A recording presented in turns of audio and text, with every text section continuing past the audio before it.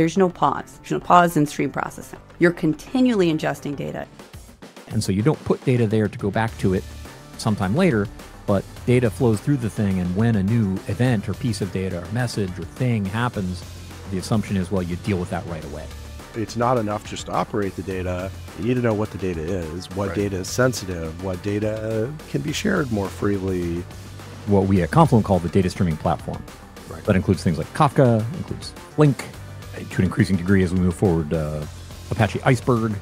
Basically, we started with a smaller ESB, which was not able to handle the load. We needed something like Kafka to manage all that ingest. But as soon as I joined Confluent, I was like, oh, this ecosystem is much bigger than just Kafka. It's not just Kafka. We have all the j- data streaming flavors that you could want. This data streaming platform, it all fits together. It's processing, it's governance, it's connectors, all in one thing, and that's how Confluent sees the world.